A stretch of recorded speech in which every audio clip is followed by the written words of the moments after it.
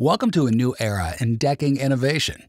Today, we're excited to introduce TimberTech's aluminum stair framing system, crafted for perfection.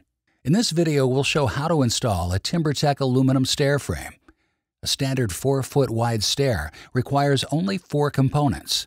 TimberTech aluminum rim joists used to cut the left and right stair stringers, stair tread kits, stair tread bracket kits, and stair landing L brackets. For continuous stair sections wider than 4 feet, you may also need middle stair tread brackets.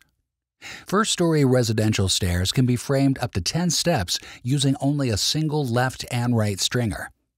To achieve a higher stair rise, such as for a second story deck, the best practice is to install two intermediate support posts or a stair landing to break up your stair into two sections. You may also fasten two stringers together, creating a two-ply stringer to achieve spans greater than 10 steps. This method requires review and approval by a local engineer or architect.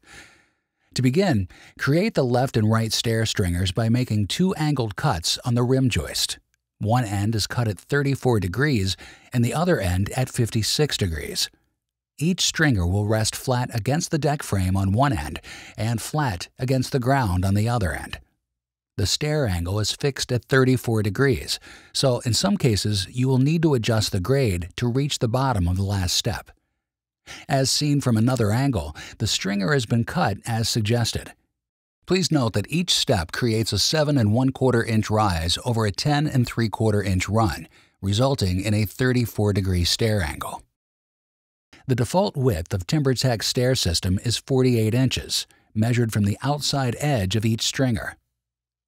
Wider widths can be accommodated, but such an assembly requires the use of a middle stair tread bracket and additional stringers, as detailed in a later segment of this video.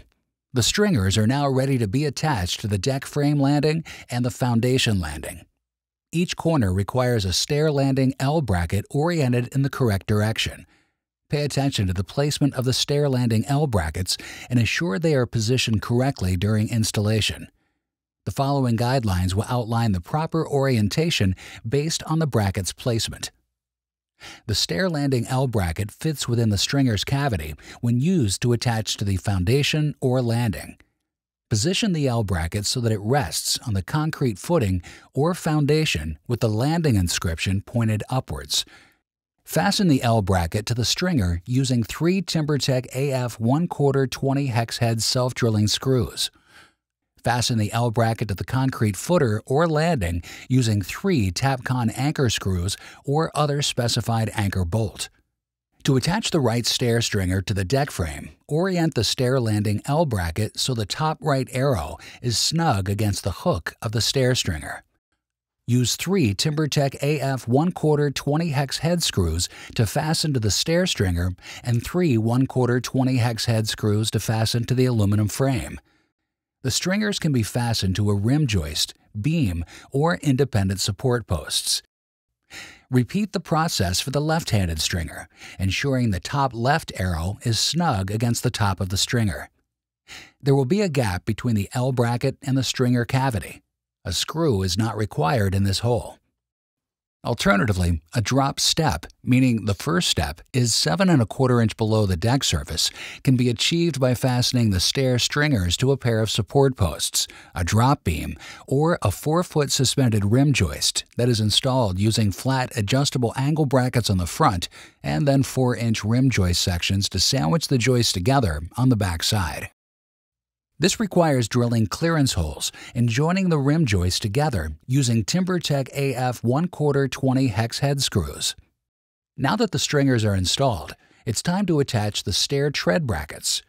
Please note there is a left-hand and right-hand bracket included in each stair tread bracket kit. For a flush stair, meaning the first step is flush with the deck surface, the left and right stair tread brackets should line up with the top of the deck frame. After installing the first two stair brackets, fasten the rest of the left and right stair tread brackets. The brackets stack with each corner touching in order to provide proper stair spacing and a clean finished look. Now it's time to install the two-piece aluminum stair treads onto the support ledges provided by the stair tread brackets. Carefully slide the front stair tread forward and onto the support ledges, ensuring that the piece is flush with the top and front edges of the stair tread brackets.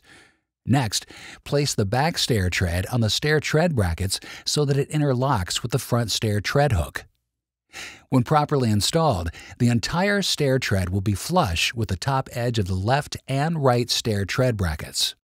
Use two 1 quarter 20 hex head screws to fasten the stair tread to each stair tread bracket. Each stair tread requires a total of four 1 quarter 20 hex head screws. Repeat this process for the rest of the steps. For wider stairs or continuous steps, a middle stringer can be used with TimberTech's middle stair tread brackets that feature support ledges on both sides instead of one. Since the stair tread is pre-cut to 47 and 3 quarter inches wide, it is best to design your stair in 4-foot increments. For example, 8 feet, 12 feet, or 16 feet wide. Any width can be accommodated, but may require cutting the stair treads to size. For example, a 6 foot stair would require the two 3 foot stair treads supported by a left, right, and middle stringer. More information, including engineering and code details, can be found on timbertech.com or by referencing CCRR 0523. With all of this in mind, you are ready to install TimberTech Advanced PVC or composite decking on your newly framed TimberTech aluminum stair system as shown in the next video. TimberTech aluminum framing, where strength meets style. Step into a world of durability, style, and unmatched performance and upgrade your outdoor living experience today. Visit our website or contact your local dealer to step up your substructure with TimberTech.